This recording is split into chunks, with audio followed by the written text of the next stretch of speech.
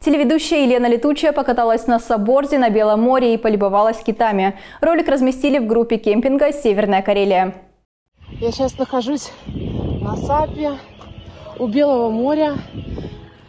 Напомним, в Карелию Елена Летучая приехала вместе со съемочной группой проекта «ВКонтакте места» и участниками программы «Больше, чем путешествие». Одна из частей экспедиции – фотоохота на белух и съемка беломорских петроглифов.